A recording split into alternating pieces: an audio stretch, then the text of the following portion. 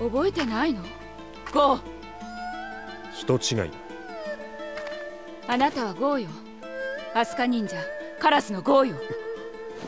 あんたは？キヌあなたと同じアスカ忍者カナリアのキヌよ。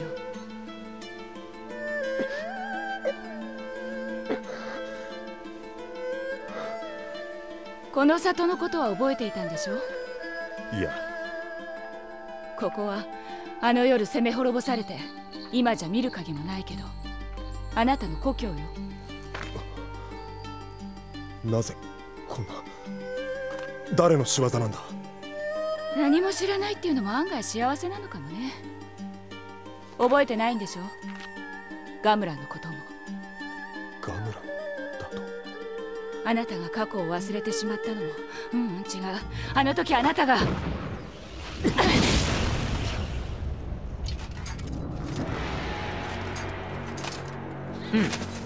魂を抜かれても悪運の強さは健在か。